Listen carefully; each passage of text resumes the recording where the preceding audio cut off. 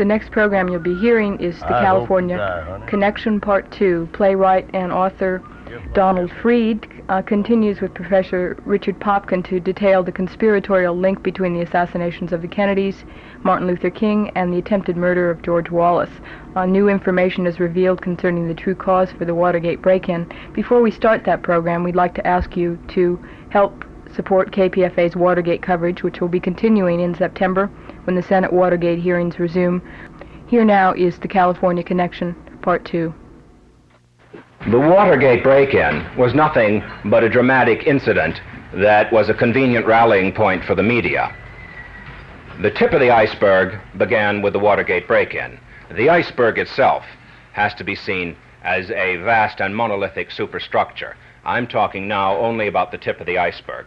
Operation Gemstone has to be described in the terminology and diagram of a clandestine intelligence operation, exactly as one would describe a coup de main, a stealthy attempt from within the government to take power.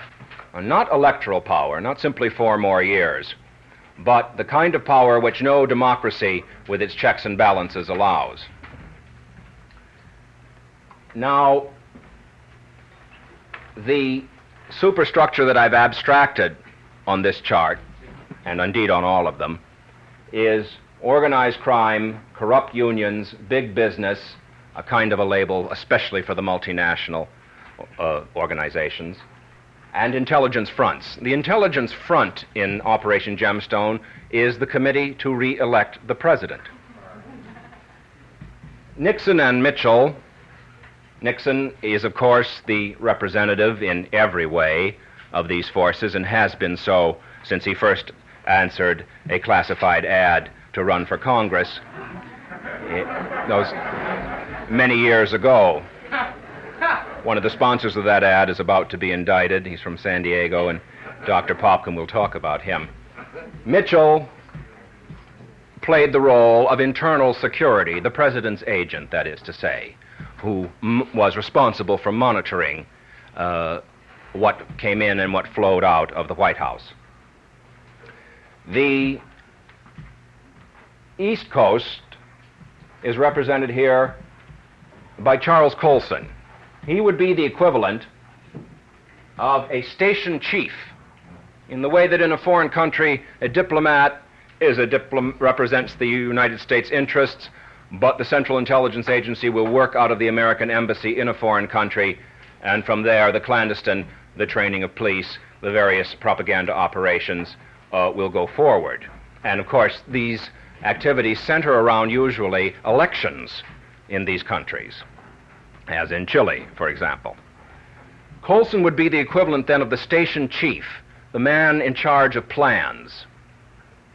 And it's as if, of course, that we were simply natives and or colonized subjects and a group of settlers or neocolonialists were organizing in a clandestine manner from within the country and from within the government to set a to to take to set in motion the equivalent American style of a military push or a coup de main. But it would be from within the government, from within power itself, in the same way that the Reichstag incident was staged after Hitler was chancellor, not before, but after.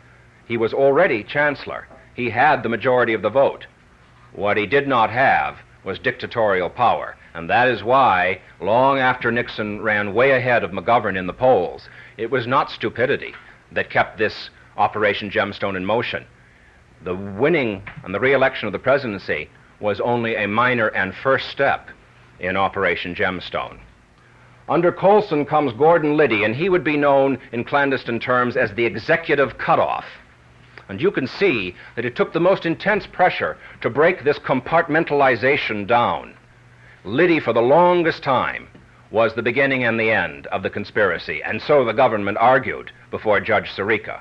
The compartmentalization held until McCord broke. Under Liddy is Hunt, the field cutoff. And under Hunt is McCord, the control or agent handler, the man who runs the contract agents in the field. And under McCord on the East Coast, of course, were YAF, Young Americans for Freedom, anti Castro Cubans, uh, and some other right wing uh, forces, um, almost all associated with the Central Intelligence Agency, not as employees. None of these people exist in the Central Intelligence Agency files. They are what are called contract agents. They do not exist on paper. On the West Coast, Haldeman is the station chief, and when these charts are revised, Ehrlichman will be in that little box with him. Uh, but uh, Haldeman and Ehrlichman are the equivalent of the diplomat uh, at an American mission or at an American embassy, the diplomatic representation of the White House. Colson is the professional, the super conspirator. Haldeman and the others are, shall we say, consummate and brilliant amateurs, but they are amateurs. And although they did everything to finance and forward and cover up Operation Gemstone, they did not think it up. There was plenty of input, as they like to say, in the advertising agencies that spawned men like Haldeman and Ziegler and Dean and others. But this conspiracy uh, is my argument, the argument of the Citizens Research and Investigating Committee, is the work of a professional. And the professionals are Colson and Hunt, basically, with McCord as the technician. Haldeman and Ehrlichman then would be the equivalent of ambassadors or diplomats. Chapin would be the executive cutoff for the West Coast wing of Operation Gemstone. So, uh, uh, Chapin and Strachan, rather, the, would be the field cutoffs. Chapin, the executive cutoff, Strachan, the field cutoff, Donald Segretti, the control or agent handler, and he would run the agents on the West Coast, the contract agents. Those would have been black, Chicano, Jesus freaks.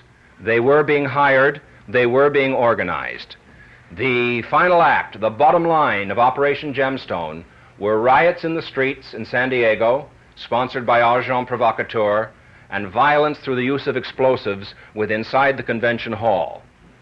This violence would have been laid at the door of anti war, liberal, left, radical, McGovern forces. The proof? The proof would have been a variation on the Pentagon Papers theme information in the Democratic National Committee headquarters in Washington at Watergate would have been leaked from the files, tying McGovern to these forces. Where would this information have come from?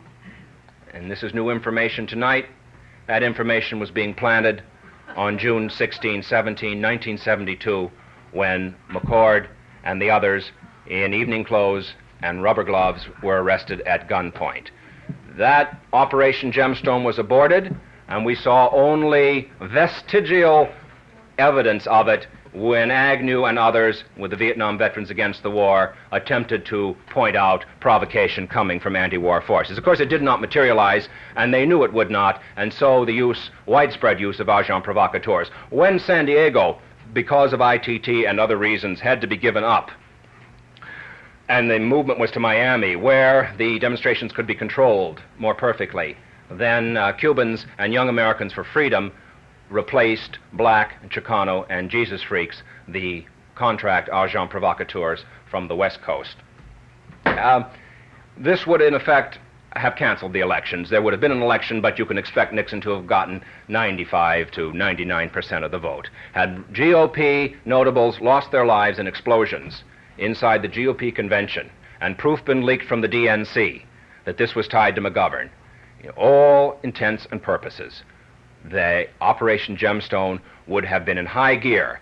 And from the POW extravaganza, they would have gone directly into the American Revolutionary Bicentennial Program, which was to use tie in labor unions, students, schools, service groups, churches, armed forces groups, American Legion groups, business, industry, banking, savings and loan.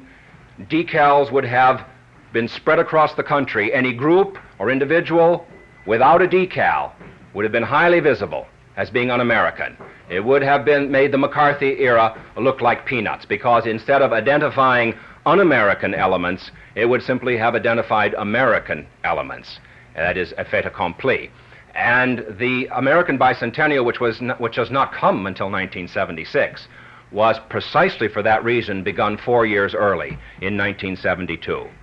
And the, it would have eventuated in parades, in extravaganzas, in torchlight uh, demonstrations. The Leni Riefenstahl films of Hitler Germany in the 30s were being studied by the Committee uh, for the American Bicentennial, and we could have looked forward to enormous sports stadium uh, spectaculars with lights uh, and flags and excitement, uh, not to say hysteria, that would have been modeled very closely on the spectaculars of the Third Reich in Germany in the 1930s. That was the plan to go from Gemstone to the POWs to the bicentennial.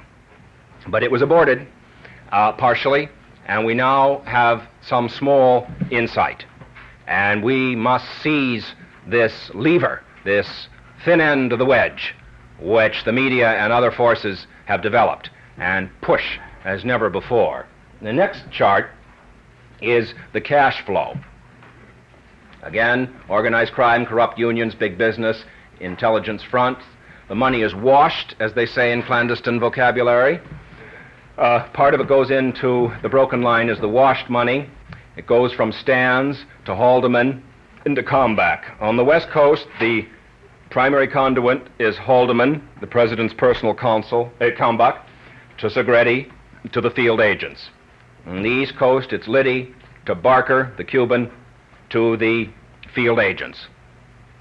Uh, the money, you can speak forever about it. It goes as deep and as broad as you wish to discuss. That's just a very high order abstraction of some of the cash flow. It goes up over $10 million for Operation Gemstone, approximating a third of the some $50 million raised for the reelection of the president. Over $10 million and over 100 field agents identified at this point. This is proof positive that we are not contemplating a budget or an itinerary or the recruitment for a break in of several offices, one in Beverly Hills, one in Washington, several in New York. The break, the break in uh, uh, is, is the, not even the tip of the iceberg. The last chart is the cover up, and which is still in motion. Uh, through from the White House itself through Ziegler, missing on there is Viva, of course, and the POW, which has to be prominently described. Uh, through Colson, the master of propaganda, through Young Americans for Freedom, Viva, right wing media. Uh, that's the open, overt propaganda campaign to cover up the attempt to get Jane Fonda, the attempt to shift the headlines, and so forth. That battle has partially already been lost by the White House, and that, of course, is what is fatal. Uh, uh, and that's why it's terribly important that the Ervin plan of a slow, steady development means everything, because in ratio to the amount of time that elapses now is how much can come out. The uh, covert on the White House, the burning and destruction of documents, of course, goes Haldeman, Ehrlichman, Dean, Gray, Petersen, and the Justice Department. That's the outright covert destruction of evidence. The buying off, the, the use of money, of bribery, and of threats runs down from Mitchell to uh, Magruder, Kalmbach, Hunt, Dorothy Hunt, also a longtime CIA agent, Howard Hunt's wife, who's dead, uh, evidence points to her being, having been murdered as she tried to get out of Operation Gemstone and was talking to the press, beginning to talk to the press. She's dead, and from there to the contract agents, who were some of them already in jail, some of them around the country, waiting to see whether they would be paid off. At this point, I'll save whatever else I have to say for uh, a question and answer period and uh, introduce uh, someone to you who's a really very extraordinary person. Um, he's, he's well known for his book, which was a, really a classic of meticulous research, The Second Oswald, uh, uh, which was serialized in the New York Review of Books and published by Avon, and was, a, was the one book that dealt in a popular sense. Uh, for those who didn't understand ballistics and logistics and the scientific data of Dallas, the second Oswald was uh, shocking and unarguable proof of a conspiracy. Uh, but besides, he happens to be a very well-known philosopher and historian, and um, uh, formerly head of the philosophy department at UCSD, and uh, a very wide ranging career indeed in politics and literature and history and philosophy, and uh, someone you're going to enjoy very much, I think, and who it's my pleasure to unleash now, Professor Richard Popkin.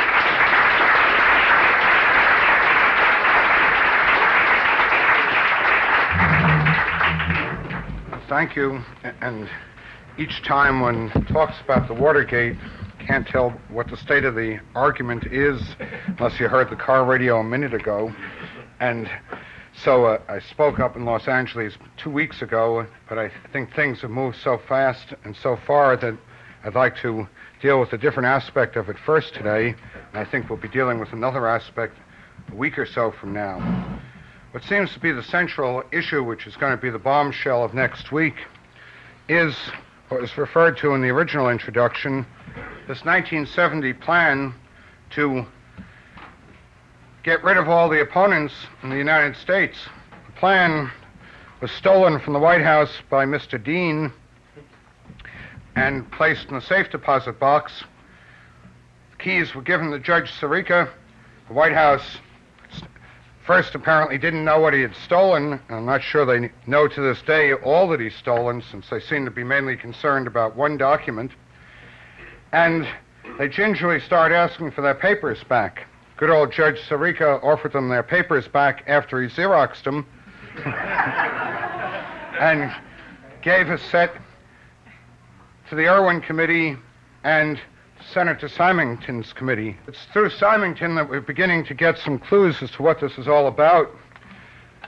Senator Symington said on the 22nd of May, This is the most fantastic document I've ever read.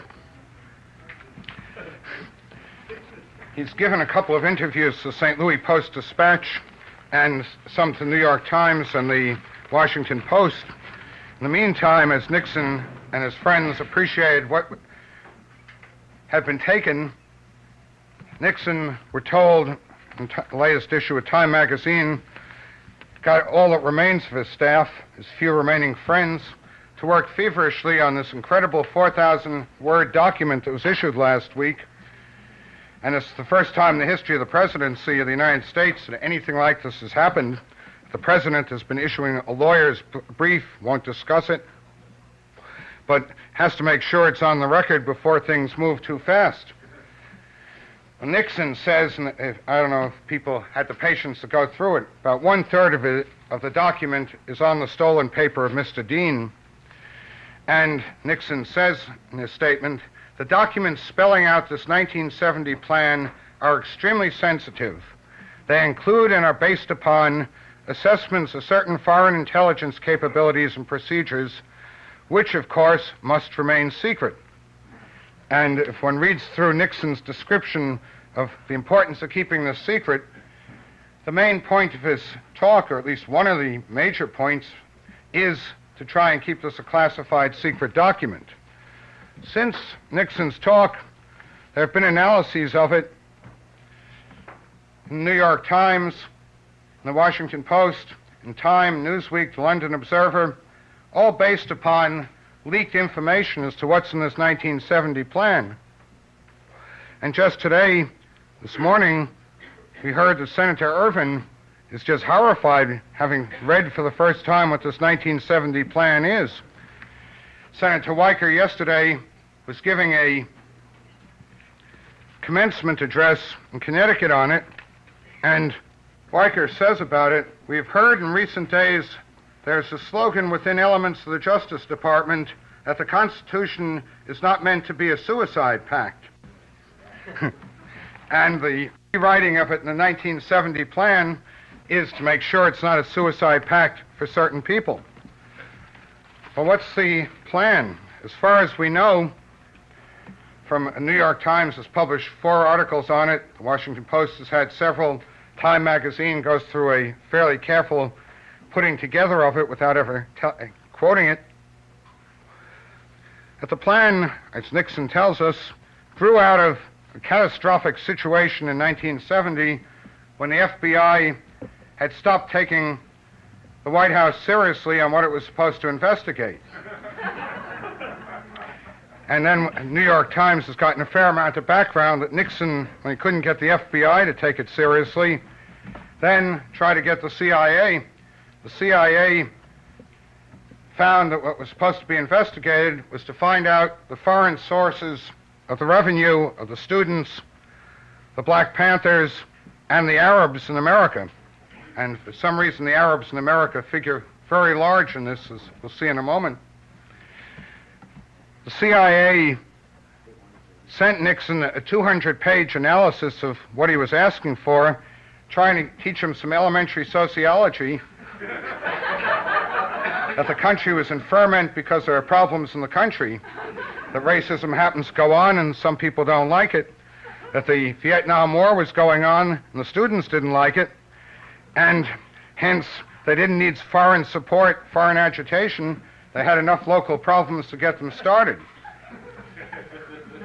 With the FBI and the CIA refusing to cooperate, we're then told by Nixon that the matter was so serious that he called an emergency meeting of all the chiefs of intelligence of the two large agencies, the FBI and the CIA, the National Security Agency, Defense Intelligence Agency, and some other small secret ones to sit around and figure out what to do.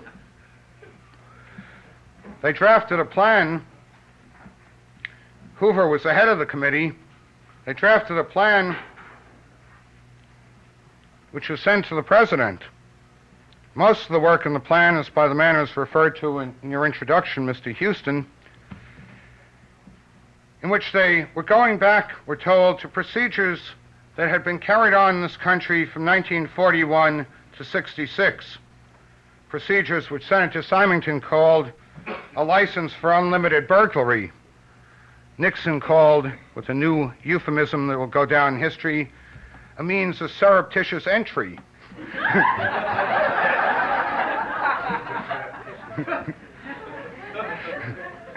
the plan apparently was to burglarize all the opponents and to burglarize embassies that might be giving the money.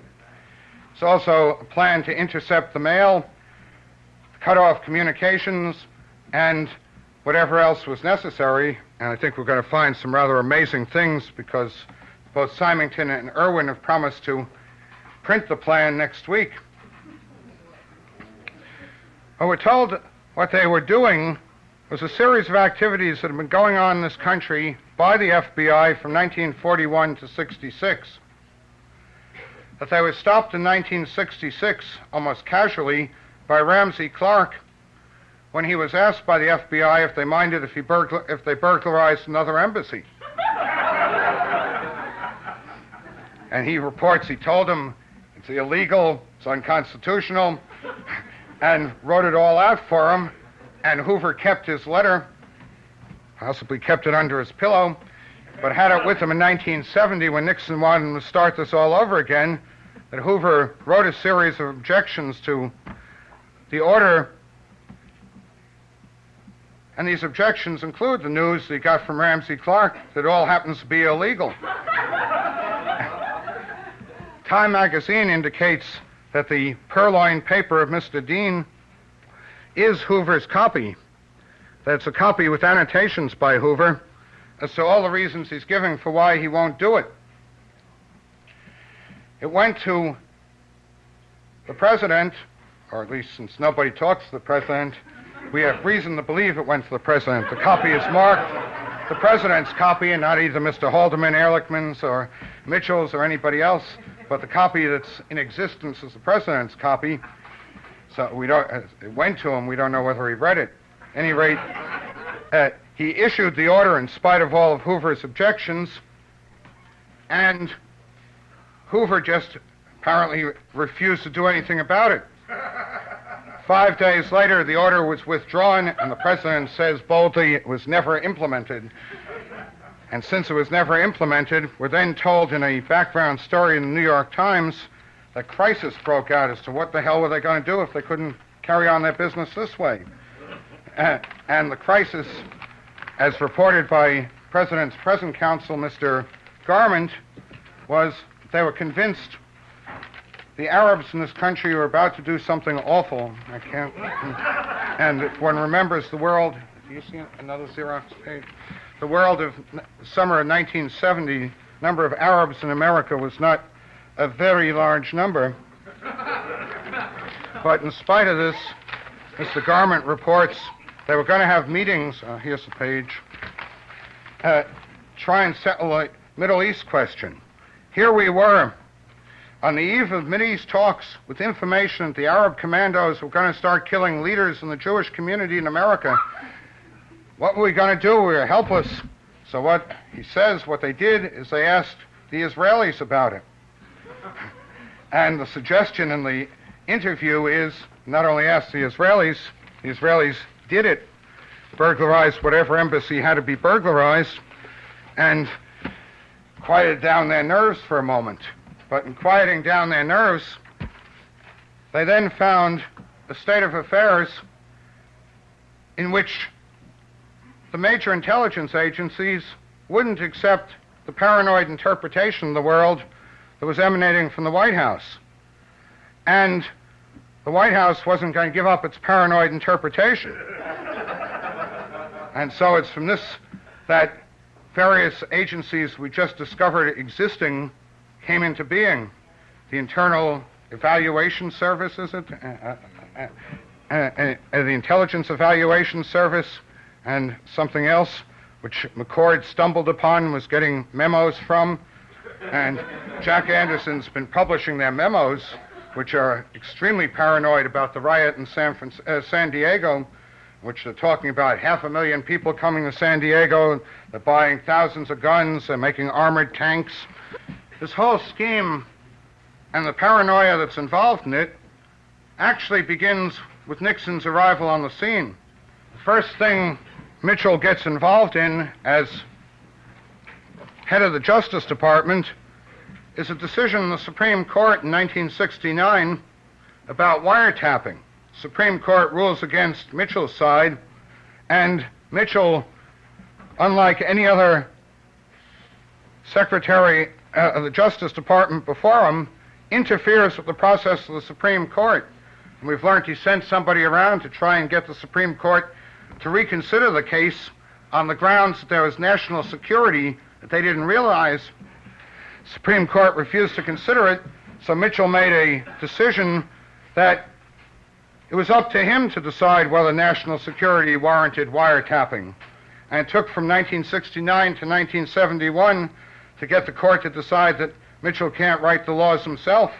They have to be passed by somebody, and it doesn't happen to be a law which says that the Justice Department has the right to wiretap who it wants. So from 1969 to 71, we know he was doing it. And was doing it partly because of these leaks from the uh, government, but mainly, it appears, because of their panic about the blacks, the students, and the counterculture. And one element which I think is going to loom large in this, that one of the things that starts immediately along with Nixon, uh, Mitchell's desire to wiretap is the repression of the drug culture. And Operation Intercept, which is September 1969, is part of this overall scheme to suppress all the tendencies that Nixon and his friends couldn't stand. And I think we're going to find that some of what was going on in the background of Operation Gemstone is involved with the drug problem. A story appeared a couple of weeks ago in the Washington Post that within the first month that Nixon was in office, some leading pharmacologist was called to Washington and told by Egil Krogh, later one of the plumbers, that if he didn't agree with the White House on what to do about the drug problem, and the pharmacologists from Cornell had the view that one should treat it as a medical problem and investigate it medically, he was told if he didn't agree with the White House as a police problem, that the White House would destroy him, were Egil Krogh's words to him. And apparently they went ahead and tried to destroy the research of anybody who didn't agree with them. Well, it's all these efforts to get control of the opposition that they saw that after the FBI and the CIA wouldn't cooperate, then they start creating their own units. And then we're told that our president went out of his mind, got absolutely furious, didn't know what this man Ellsberg was likely to do. If he'd do something as terrible as give New York Times those papers, God knows what else he might do. And they, they immediately had to go find out what sort of a demon they were dealing with.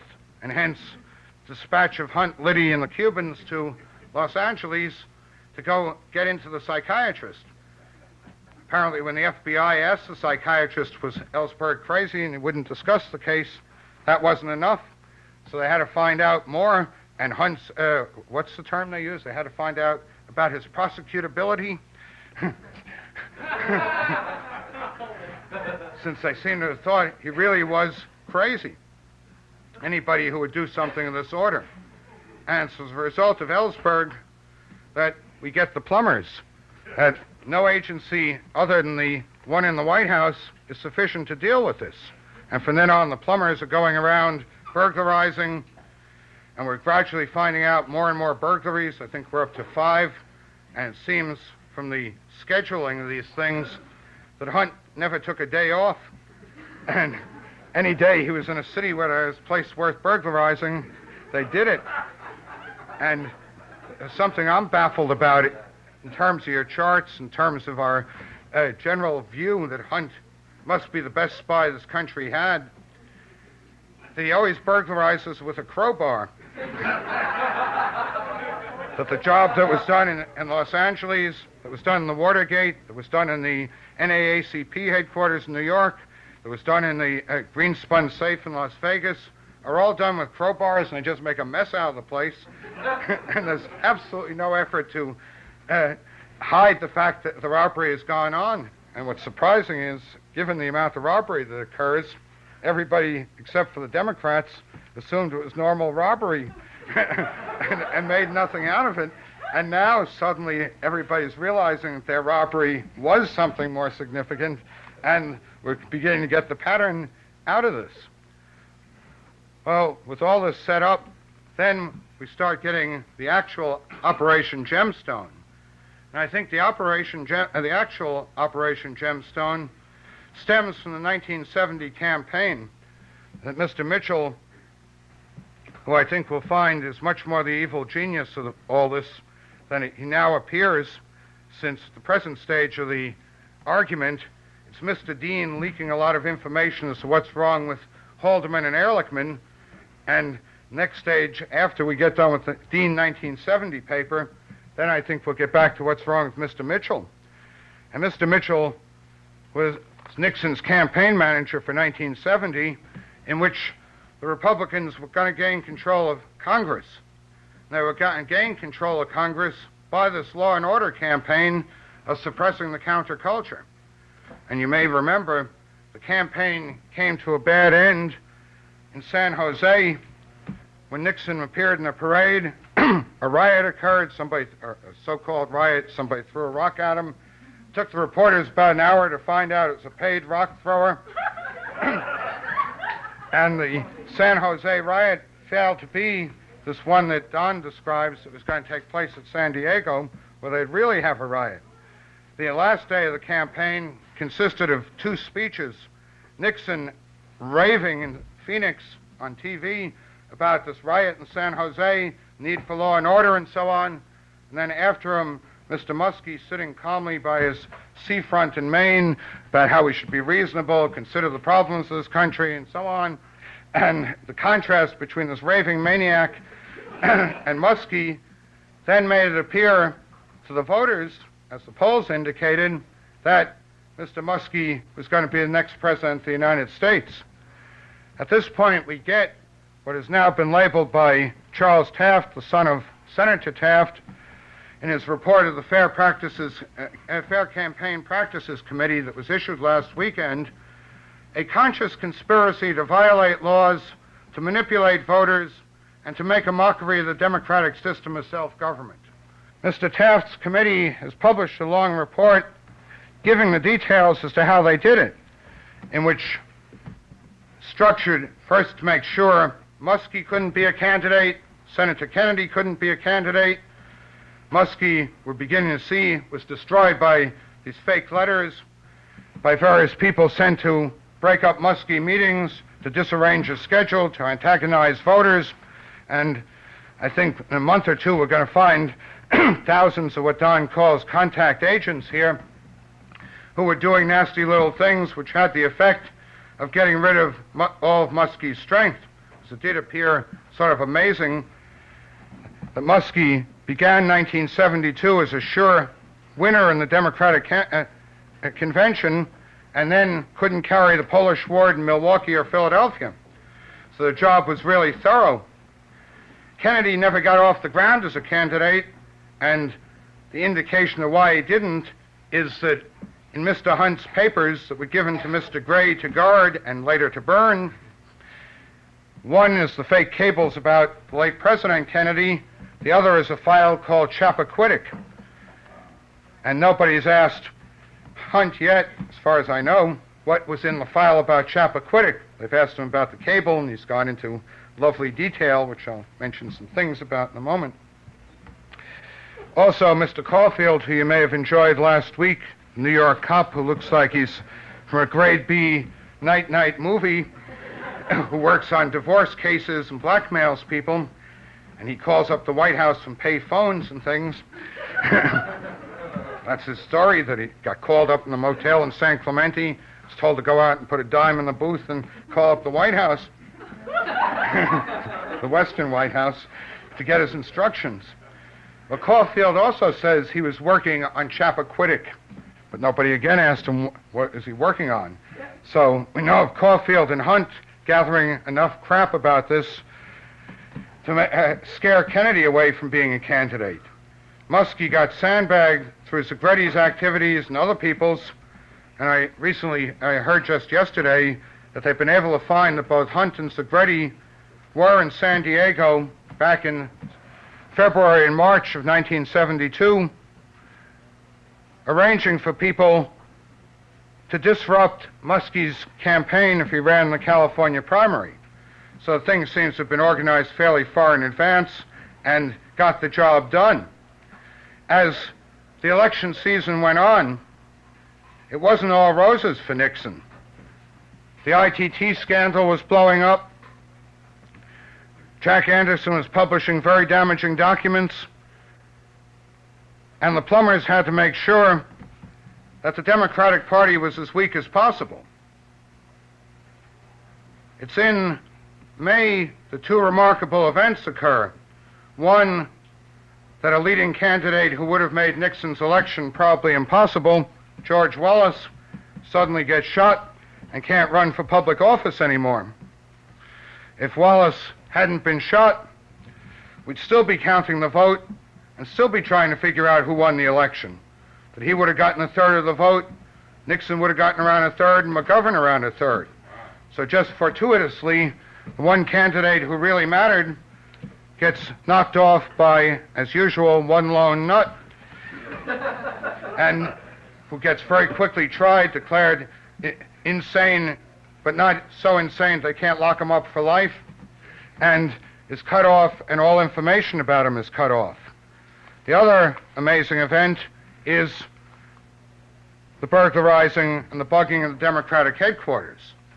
The explanation we've been given of this by the two participants who have appeared on TV, McCord and Barker.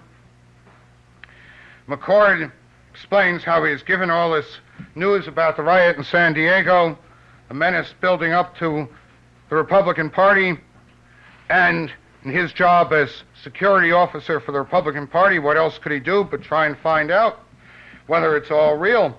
And McCord was tantalizing the senators by telling them he's getting these daily reports from the Intelligence Evaluation Service, and nobody asked him what these things say.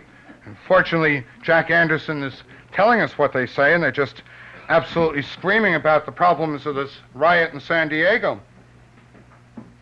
Barker, I think, is more a comedy relief to it, but Barker's testimony indicates that the team got sold on the view it must be relevant to national security. The national security somehow must be at what's at issue. Barker tells us what he the information he's given about national security was the Cubans were financing McGovern. They're sending him 10 to 20 million dollars. So they break into the headquarters, and Barker admits that there is in the wrong office, so there's no such data. But since they're in an office, he might as well do something. So, so he starts burglarizing. and you may remember the marvelous scene when one of the senators asked Barker if he can really believe that the burglarizing of the Democratic headquarters has something to do with liberating Cuba. and Barker says, Sometimes I get confused about these matters. but he's sure, he says, that if Mr. Hunt was for it, it must have something to do with national security. If national security, which all this is uh, enveloped in from the time they get into office, is a real issue, if there really is something we're supposed to be worried about, if the country is coming apart or there are foreign menaces and so on, why can't it be explained? Why can't they actually state what the problem is and what has to be done to safeguard the country and find out if people want the country saved or not? if they want it saved, what price it'll take to save it. Instead of explaining it, this quotation I gave you from Weicker's speech yesterday, that people regard the, the Constitution as a suicide pact, if it really is a suicide pact in this day and age, and it's perfectly possible a document written in 1787 isn't really applicable in 1973, then some real effort should be made to consider what the state of affairs is, what laws we do need if we're really in danger, what constitutional changes ought to be made. Instead, nothing like this gets proposed. Instead, we're told the government was helpless. They had to do something to defend national security. So they do all these illegal things instead of trying to explain to the Congress, to the populace, that we're really in a bind and a fix and we need new laws. The couple of attempts to explain the problem were so preposterous they didn't convince anybody. The first attempt to explain the problem was in the case of the government of Mitchell against the New York Times. When the New York Times started printing the Pentagon Papers, if you remember, Mitchell rushed in the court to try and get the first injunction in American history against a prior publication. And in court after court, as the New York Times was stopped, and the Boston Globe, and the Washington Post, and the uh, Los Angeles Times, and other papers took on the job of printing the documents. In court after court, Mitchell tried to explain why it was necessary. And when they finally, you know, a couple of days got it up to the Supreme Court, a Supreme Court doctored by Mr. Nixon with lots of his friends on it, they still got a unanimous verdict against them. They couldn't convince anybody. In contrast to this state of affairs, where they're arguing about national security and can't make reasonable conservative people believe it, we just seen a case in England where two ministers had to be removed because of their sex lives. That the Prime Minister of England immediately explained to Commons what the problem was. Everybody agrees it's a, unfortunately it's a problem. They have to solve it right away and they've appointed an independent commission that everybody trusts, and there's no uproar at all about the problem anymore. The cases we're now being offered, which are enveloped in last week's testimony of national security, revolve around the laundering of $100,000 of a Texas oil millionaire's money that was sent from Houston to Mexico City to Mr. Stans to Mr. Barker. And Day after day, we're being told that this is the point at which the CIA had to stop the FBI from investigating the Watergate. And yesterday's testimony of Mr. Ehrlichman, I think, really indicates how far gone this case is. Uh, the CIA, at a uh, meeting with Ehrlichman, Gray, and so on, explains that there's, they have nothing whatever to do with the Watergate. They have nothing to do with this $100,000. They don't care who investigates the $100,000. It's not going to interfere with their business. So I guess it's either Ehrlichman or Haldeman who said yesterday, then they asked the CIA, is it possible that in the course of this investigation that something relating to the CIA might turn up? Can you give us an absolute guarantee that if we investigate this, we won't turn up some CIA operation? I said, Of course we can't give you such a guarantee. Get that problem just giving people a parking ticket. they can't guarantee who's got uh, uh, overparked, whether it's one of their agents or not. so on that basis, the FBI is then called off the case because they might stumble on a CIA agent. well, what does all this suggest? I think it clearly suggests the national security issue from Nixon 1969 to Nixon 1973 is bogus. But not just as bogus for the last four years, but I think we now have to consider maybe it's bogus for the last 25 years, ever since they started all this. But maybe last time I was talking, discussing the possibility it goes from Dallas to the Watergate, but maybe it goes from the pumpkin papers to the Watergate. One may have noticed that during the debacle at the end of the Pentagon Papers case here, that some of the testimony of Hunt was given to the court in Los Angeles, some of his grand jury testimony. In that grand jury testimony, Hunt explained how he made the fake cable, uh, the fake cables that Kennedy is supposed to have sent ordering the assassination of Diem in 1963. And Hunt said that when he set to work on the cables, he couldn't find the typewriter on which the cables were originally written. But, he said, since the Alger Hiss case, nobody takes typewriter evidence seriously. So it didn't matter, and then proceeded without the real typewriter to make his forgeries.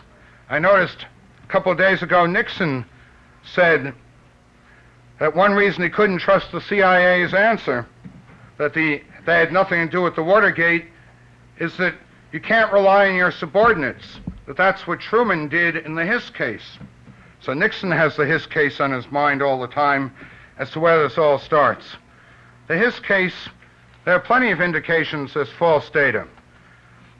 And after his, Hiss's second trial, experts from the Fogg Museum in Boston went over the typewriter evidence, issued a report saying that the typewriter alleged to be Alger Hiss's typewriter is a handmade typewriter in which the fonts were soldered by hand, that it's a sort of typewriter you couldn't buy, that it isn't Mr. Hiss's typewriter, that the documents presented in the Hiss trial were not typed in the order that they're chronologically dated, and one expert said documents were not from 1938 but were from 1948.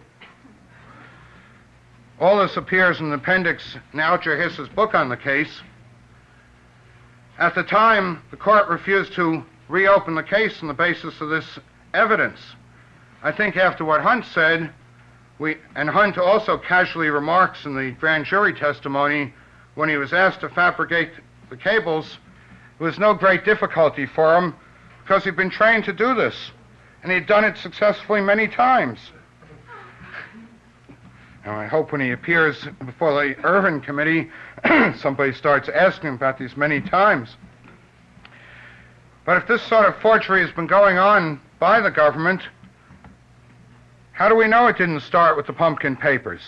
And the whole demolishment of a liberal State Department, the whole construction of the Cold War, isn't the outgrowth of this sort of thing. This was followed ra- in rapid fire succession by the Rosenberg case, by McCarthyism, completely eliminating a whole liberal past that grown up under Franklin Roosevelt. Then in the 60s, we find a whole series of political assassinations which have changed the whole nature of our country. Each one of these assassinations of John F. Kennedy, Robert Kennedy, Martin Luther King, and the attempted assassination of Wallace were immediately covered up Strangest documents are classified top secret, like Oswald's 1962 tax return, like the autopsy of Robert Kennedy. All this is being hidden, claimed to be classified, claimed to be classified in the interest of national security. Now that we know what national security amounts to under Nixon, And we've been told that the FBI was doing the sort of things Nixon wanted to reinstitute in 1970, was doing these from 1941 to 66. I think it's time to get extremely suspicious and to demand that we find out what's really been going on in this country and who's actually been running it. To come to the end of the story for the time being, what are we going to do with the present state of affairs? I think the present state of affairs, I was in Washington a couple of weeks ago, has reached crisis proportions. The Nixon's government is a shambles, is unable to function anymore, that he is crippled as a president and won't be trusted by his party or by Congress for the rest of his term. When the 1970 paper purloined by Dean is published in a week or so, it's going to show that he ordered the commission of felonies, the violation of laws, violation of the Constitution, the violation of his oath of office. What's going to follow then? Nixon, I think, gave his last defense in this crazy 4,000 word statement, and there's nothing left to do. The independent prosecutor, Mr. Cox, first day in the job, gets informed he's not an independent prosecutor. He's now supposed to take orders from Nixon. Nixon can't even remember from day to day what the state of affairs is.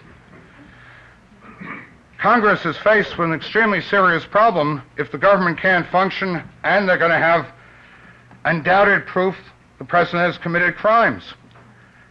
Agnew at the moment is functioning as impeachment insurance.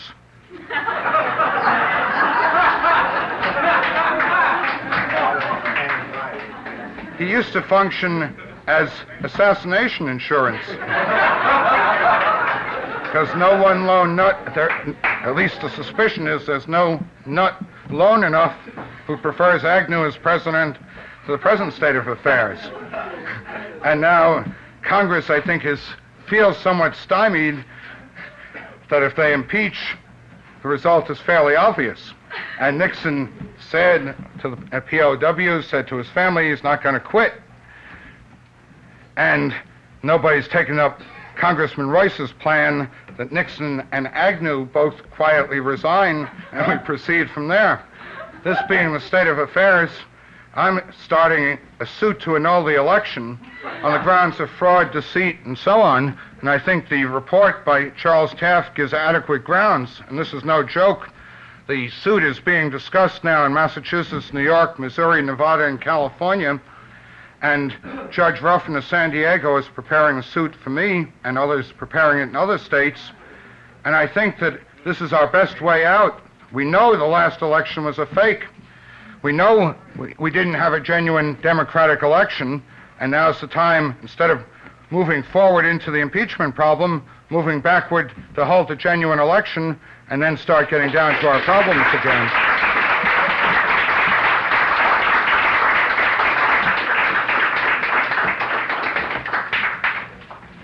Question is whether we have any faith that the, I assume you're talking about the Ervin Committee, whether the Ervin Committee is really going to unearth all this, and the Speaker doesn't have much faith in the Democratic Party, thinks they're unlikely to really get to the bottom of it.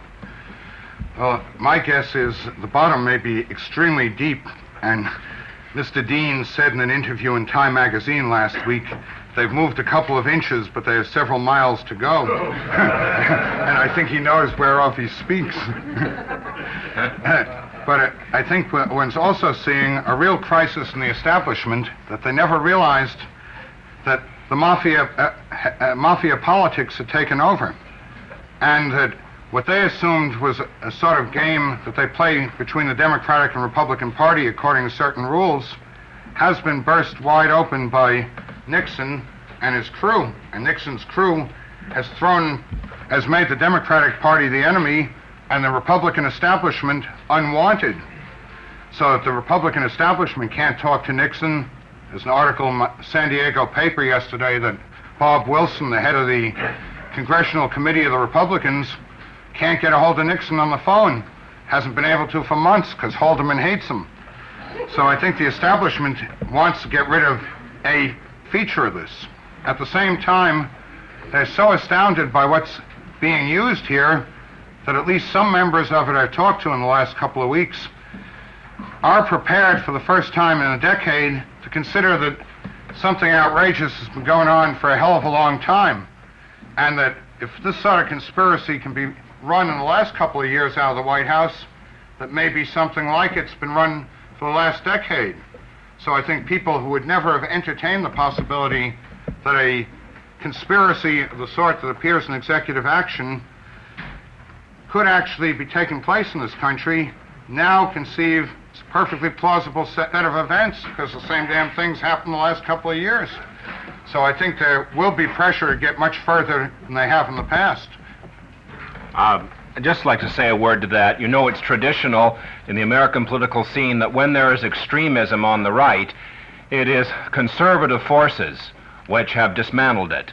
Uh, that was true after the um, Palmer raids. It was true in the McCarthy period when uh, Joseph Welch, the uh, Serbic Republican uh, from Boston, and the Watkins Committee uh, took apart uh, the McCarthy uh, power base and brought uh, to the Congress. Uh, and is now it's Judge Sirica and the conservative constitutionalist uh, Senator Ervin. Now, that's been the history in this country that the swing away from right extremism has come from the center in this country and never from the left. And I think that that's what we have to face now, and when we look forward now, perhaps to teach ins on the campuses the way there were on the war, and in churches and in labor unions and town hall meetings, that there be, for the first time in American history, a radical critique and plan of action come forward out of this, uh, and that we not simply rest, as the gentleman suggests, uh, in the uh, b- benign expectations of the Democratic Party to do the work for us. We have to not just be spectators at this television spectacular, but take a lucid and audacious series of actions, of which an overflow meeting like tonight is a good example.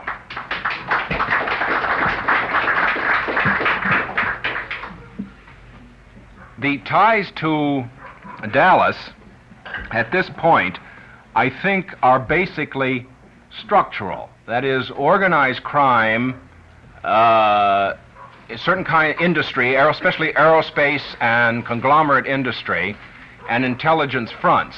those ties exist. The, this is the par- uh, paradigm or the model uh, that we see here uh, for Dallas. As far as actual personnel, that's tied between Gemstone and the executive action of Dallas in 1963. Of course, that's very difficult, and it's going to take a, a, a, lucky break, really, to break through. But let us say that one of those arrested in the Watergate, a man named Frank Sturgis, a professional assassin, was a friend, a co- colleague, a co worker of both Lee Harvey Oswald and David Ferrie, who was Lee Harvey Oswald's New Orleans control or agent handler and who had been working with him since he had been a teenager, as a matter of fact.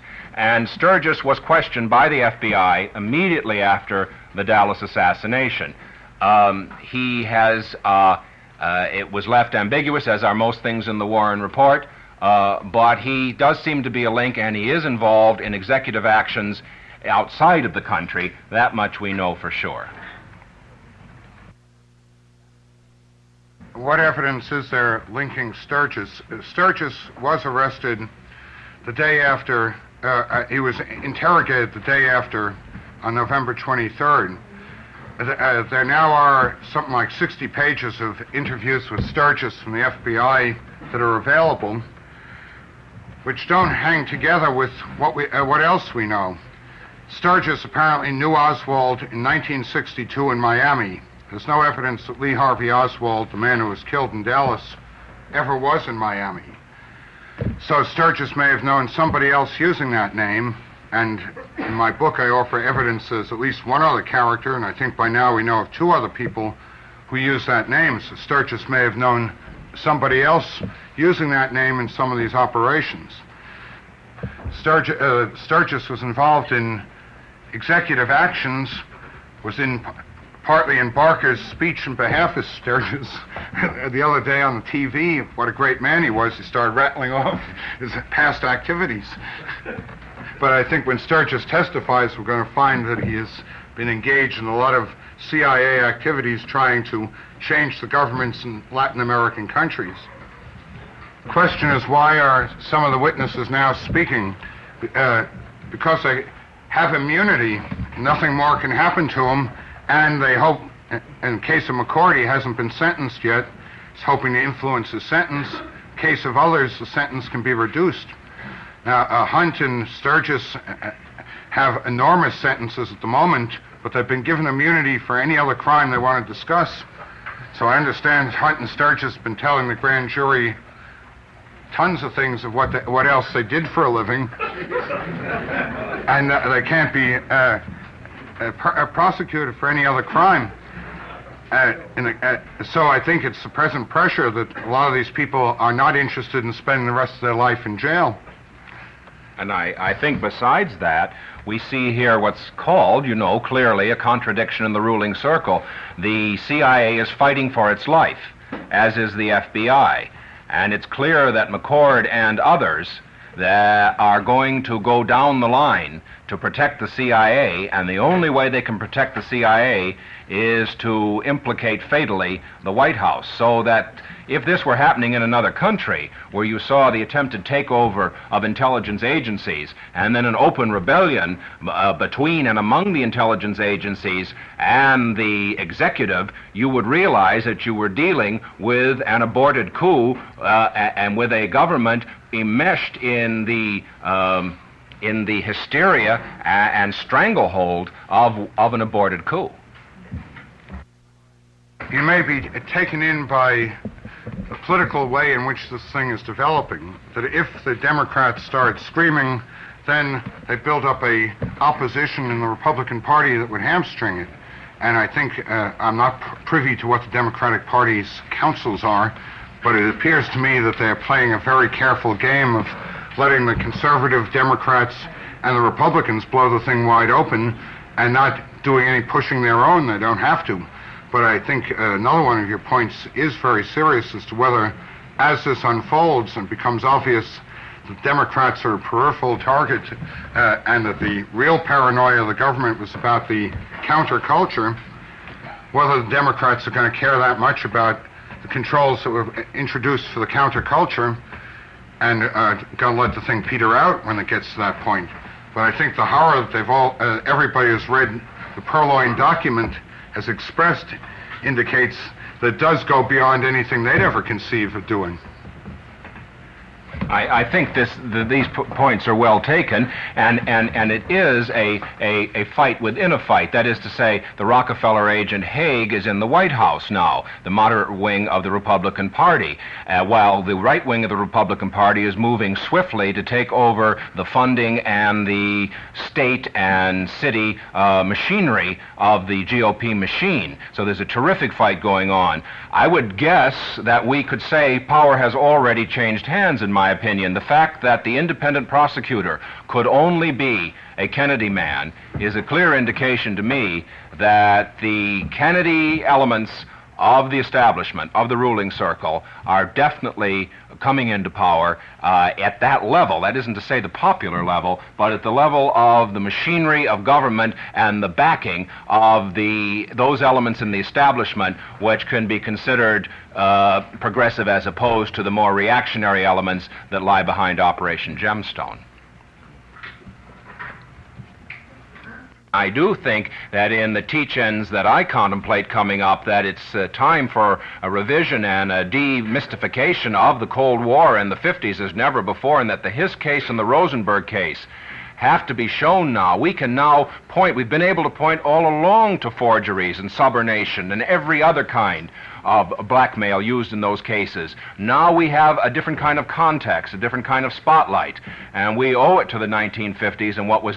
They perpetrated war on the progressive movements in this country. They used the techniques of war while we used the techniques of the First Amendment. We used leaflets, we used the right to free speech, the right to demonstrate peacefully, we used the electoral process, we used political process to try to make change. It's clear now that we suffered and, and underwent a series of warlike actions against us. That explains our defeats in the 50s. It explains what happened to the black liberation movement in the 60s. They were the victims of warlike acts. That explains our defeats, not some subjective and psychological and hypercritical uh, uh, technique that we've developed to blame each other for our defeats. We suffered at the hands of a paramilitary orchestrated operation that's been in high gear for some 25 years. Having seen that, we have to come back now with the political techniques that we have developed in these periods and do what we did for Watergate, what we did in the war. We were able to create in the anti war movement so much contradiction that Operation Watergate became inevitable for the ruling circle. And that's our next challenge in the 70s now. I think one of the great opportunities we're going to have, whether we do it or whether the establishment does it, is for the first time we're going to find out how they carried on this paramilitary war.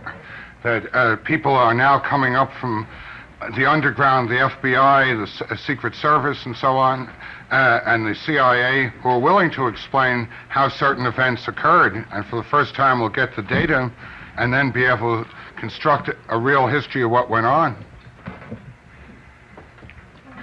Question was whether, in view of uh, what's come out about the difficulties the present administration had with J. Edgar Hoover and the opportune time of his death, well, there's any reason to suspect. I don't know whether you're suggesting foul play. I, I just don't know of any reason. He was an elderly gentleman, not in good health. So, uh, what was he, 76? Uh, so uh, I don't find it extraordinary. But it is, the month of May 1972 does turn out to have been a, a very extraordinary month. Hoover died at the beginning of it. Bremer shot Wallace in the middle of it, and the Watergate occurred. And isn't it also the month of one of the great busts in Washington, D.C.? The Roundup.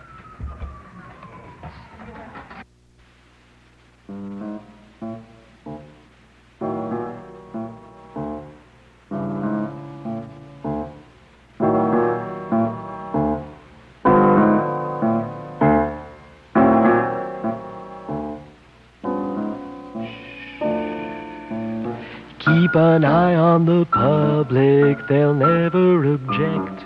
Or tell us Snoop's working, but they minutes, but not before we get a couple of more subscriptions at 84867. will photo the proof of two guns firing at the Ambassador Hotel in 1968. But this question I try to take up in detail in the novel of fact, Executive Action.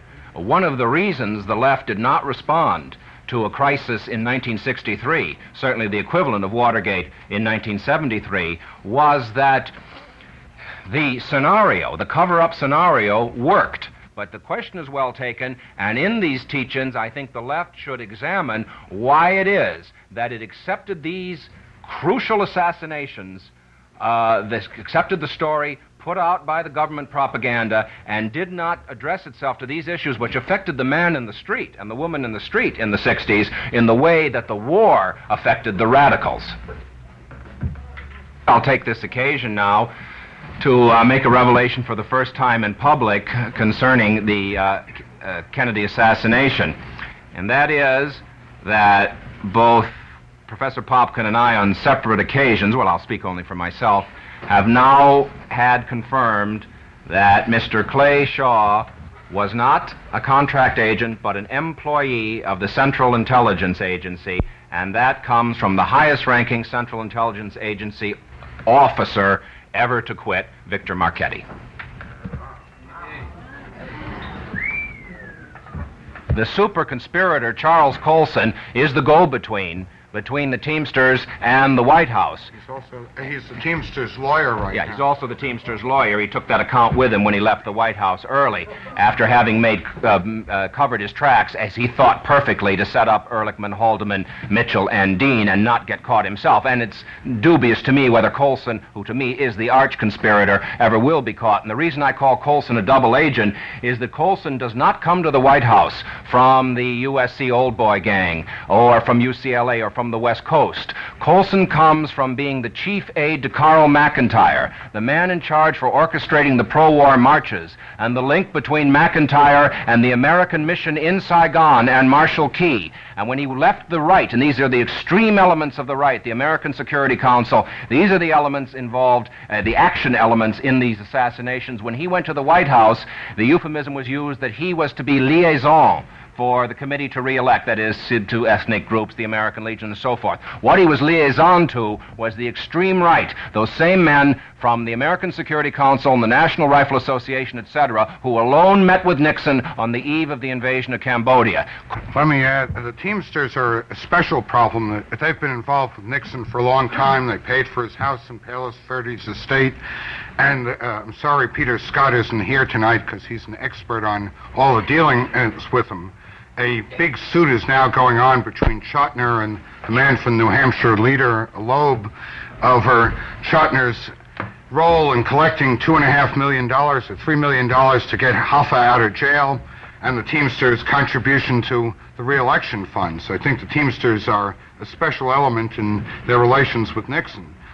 But uh, uh, with regard to Colson, besides what Don says, I had noticed that Colson's the one who brought Hunt into the whole operation and been looking for how he happened to know Hunt. That Hunt does, isn't the sort of man you meet casually. He's always off on a job. Turns out Colson went to college with Hunt in Brown in 1942, and they've been friends ever since. Hunt is also the extreme right, and when I met somebody who had been with Hunt the day Nixon went to China, and Hunt was raving, we shouldn't send people to China, we should send bombs to China. And here is Nixon's best agent, best burglar, and he doesn't even support the China policy. By the way, both Hol- Colson and Hunt were two of the original organizers of Young Americans for Freedom, a definite intelligence front, and that Young Americans for Freedom will start to figure prominently now, I think, I- as we go further into Operation Gemstone, along with VIVA. Uh, the only other person who surfaced as a friend of Hunt's is William Buckley. And Buckley is, is the godfather of Hunt's four children and the executor of Mrs. Hunt's estate.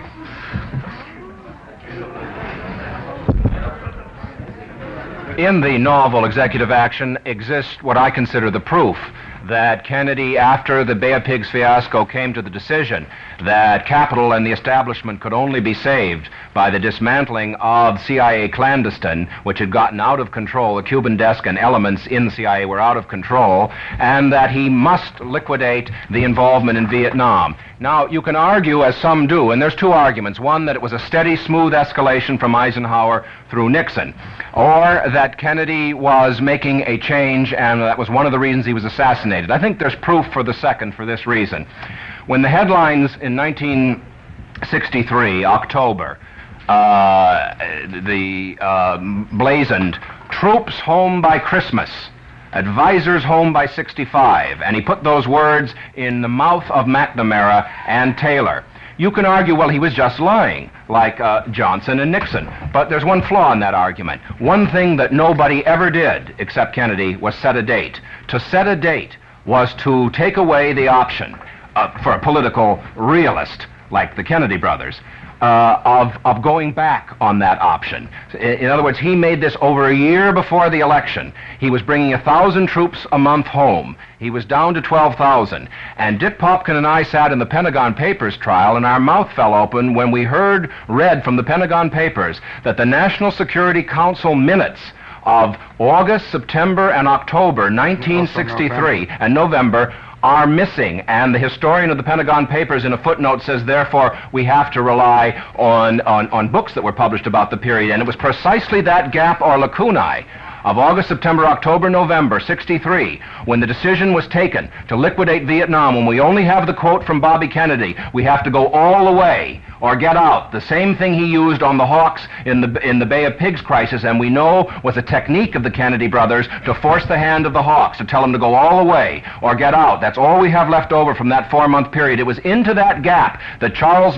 Colson had Howard Hunt forge the cables because that gap existed, that those cables had been missing since since just after the assassination, and it's into that gap that the forged cables to tie JFK to the Diem assassination went. So I think that we have proof now that Kennedy, for reasons having nothing to do with pity for the Indo-Chinese people or a change of heart, decided, just as Nixon decided many years later to go to China to do many things, the SALT talks, disarmament, many things that Kennedy was planning. It's simply that Kennedy, almost a generation earlier, had taken the decision that he would build a new kind of coalition of labor, minorities, young people, and institute a kind of American quasi-social democracy and set up a reign which would lead from John Kennedy to Robert Kennedy to Edward Kennedy, stretching to 1984, a 24-year reign of power and an enormous restructuring of America. So that I'm not minimizing the power uh, uh, potential of the Kennedy brothers. What I'm saying is that I believe all evidence points that when those headlines came out, troops home by Christmas, advisors out by 65, that it was true.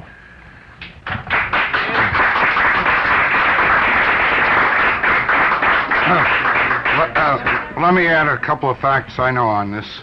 Uh, in the Washington Post of last Saturday, they print a story about the real secret intelligence organization that runs everything, uh, which keeps changing its name anytime anybody finds out what its name is. and, it, and, it, keeps no records, but they decide what sort of uh, uh, executive actions will take place and so on. And the story says that Bobby Kennedy was never allowed to be a member of this group. He wanted very much to be, but Mitchell did become a member, and it got politicized as soon as Mitchell got involved. Kennedy was trying to get in charge of this sort of thing and was failing. All through 1963, he'd been setting up committees to find out what was really going on and who was running the intelligence organizations. And every time these committees would turn out to have either Allen Dulles on it or McCone or somebody else in the CIA, and Kennedy would be no further along than he was before. The last committee he appointed was in the early 19, uh, November 1973, and Allen Dulles was on it. It came to no useful conclusion by the time of his death. But I was told by Senator Morse that Morse, in a conversation with Bobby Kennedy right after the assassination, was assured that his brother had taken the decision to get out of Vietnam and was going to meet with Senator Lodge, who was then our consul in, uh, in Saigon, two days later in San Francisco. So there seems to be a basis for the claim that it was really going to happen. As far as the Bay of Pigs goes, I don't know when it got started, but it's obviously well underway before Kennedy got to be president. Both Nixon and Nixon said he knew all about it during the debates that were going on and didn't dare reveal it. These are the best. When we say they're the best, Hunt was in charge of plans. The legendary Eduardo for Playa Giron, for Giron, for the Bay of Pigs. And McCord was a super agent. Dulles dropped him behind the lines in the Soviet Union in the 1950s on the most delicate operations. But what must be pointed out, and I go to some pains to do it in the novel, they made even more egregious errors in the Dallas assassination of 1963. But the media and the electorate and the left were paralyzed and did not seize upon these errors. And when you say they are just bunglers, they are the best that American technology and finance can put forward. And to give proof of that, until the day of their arrest, Hunt and McCord both sat on special emergency crisis committees. McCord was the head of a 16-man unit working out of the Pentagon in charge of the censorship of news and the roundup of subversives, and that's a quote, in time of emergency. And Hunt, in the 50s and 60s, had sat on two emergency planning boards in charge of censorship of news and roundup of subversives in time of emergency. These are the men who would act out, if necessary, the scenario after the agent provocateur did their work in San Diego or Miami had Operation Gemstone not been aborted. But this is the best they can do, and they were equally clumsy in the Hiss case and in the Rosenberg case. A fool or a child can see what went on in the Rosenberg case. It's fear and not lack of their mistakes or our intelligence that have paralyzed us. And I think we have to say that just as they failed abominably in Vietnam with their plans, failed in Cuba, have failed all over the world, and will fail all over the world because their worldview is based on an inferior race, an inferior class, starting with the American populace, that is doomed to failure, and that is why they have to resort everywhere and always to violence as soon as their crackpot scenarios break down. And that's why we have to push them to the wall now. They are moral morons, and operationally, they are often fools and clowns. But what they have behind them is the organized violence of the state, and that we mustn't underestimate. But we mustn't overestimate the mystique of these clandestine crackpots.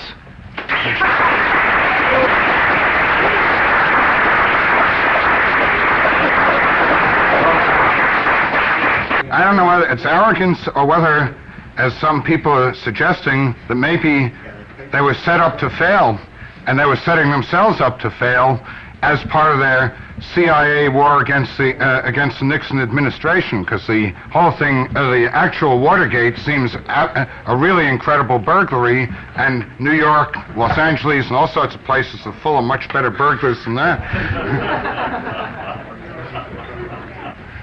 There is a new book out in France two, identifying two of the Watergate men as having approached the OAS, that is the right wing insurgents against de Gaulle, to uh, kill Kennedy when he visited de Gaulle in 1962, using as a cover an attempted assassination on de Gaulle. And we don't have enough facts on that yet, but two of the uh, Watergate have been, I think we can guess definitely who one of them is, but uh, have been identified in France by an OAS agent.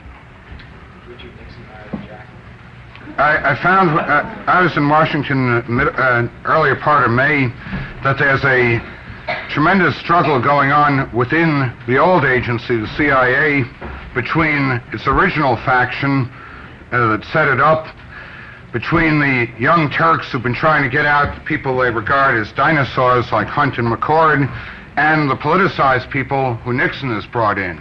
Uh, uh, the man who's been appointed new head of the CIA hasn't been approved by Congress yet, was head of their political assassination division, Mr. Colby. And Mr. Colby has said in t- testimony before Congress he's responsible for Operation Phoenix, that he killed 6,000 political people in Vietnam by assassination, not by B 52s.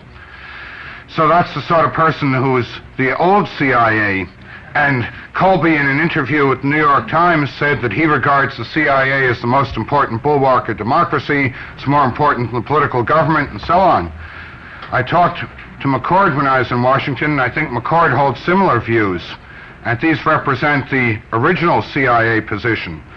But then there are people who've come up since the original group who regard themselves more as technicians and see Hunt, McCord, Colby, and so on as Neanderthals from the original Cold War. And then Nixon's been adding into this politicized people who see the CIA as functioning as an arm of the political process of the ruling government. So I think at the moment there's a three-cornered fight going on as to who's going to control the CIA and also what role it's going to play in the future. And Hans uh, McCord's been issuing endless memoranda. You gather from the, the hearings, he writes them six times a day. And one day, as in Washington, he issued a 383 page memorandum. And each one of these things always ends with a plea for restoring the original CIA. So I think they're, uh, the, origi- uh, the old boys are trying to get back to where they were at 1950 uh, or so, and with the sort of influence they have. The question is asked is who are Sirhan Sirhan and James Earl Ray and how they fit into this pattern of conspiracy. Ray, uh, I think, is a very interesting case where the evidence that he was guilty is so minimal, the evidence he's involved in conspiratorial activity maximal, and nobody, uh, the establishment immediately decided he's a lone nut, he's a racist, and that's why he did it. They couldn't find anybody who ever discussed racism with him he had lived in Los Angeles in a hotel somewhere around here, and nobody in the hotel ever heard him uh, having the slightest interest in politics, race, or anything else. He uh, apparently is a hired gun, a hired hoodlum who was smuggling from the time he escaped from jail to the time he was arrested after King's death. And smuggling is not an activity you can carry on by yourself. So you have to smuggle in concert. it's not one of these victimless crimes. it has to be a conspiracy. Mr. Fensterwald, who is McCord's lawyer, is also James Earl Ray's lawyer, and he's taken on the case after everybody else milked Ray of all the money he had, and he apparently had a hell of a lot in the beginning, far more than he could ever have gained by any of the activities uh, the FBI claimed he, he was engaged in. The FBI said he earned his money bank robbing, but they could never name a bank he robbed.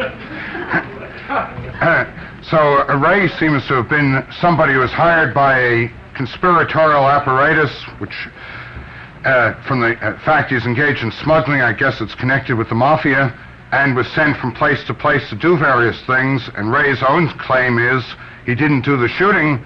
He was just sent to register in a motel there, register in this rooming house, deliver a gun. Then, for the first time, since he never read anything but the sports section, he discovered when the gun went off that Martin Luther King was there and beat the hell out of the town, and then spent a, a fortune traveling around until he was caught.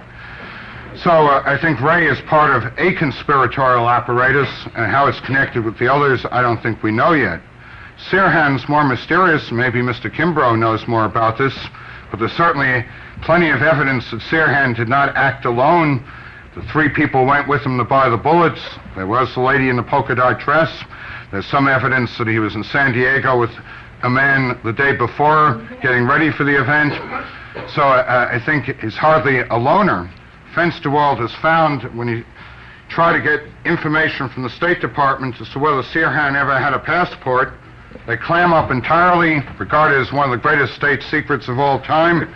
and Fensterwald used to be a lawyer for the State Department, has been able to find out about anybody else he is interested in, if they ever had a passport. But this is the one case where it's been absolutely stymied. So I think there is some indication that Sirhan's also part of some sort of conspiratorial apparatus. I have with me a motion that Fensterwald's made in the United District Court, United States District Court for the Middle District of Tennessee, a memorandum of facts about the Ray case, which would convince any reasonable man they didn't solve the case. He's unable to get any evidentiary hearing, just gets turned down these things.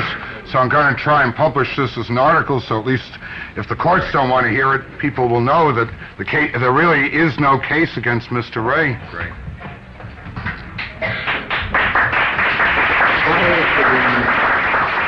weekend of June 15th.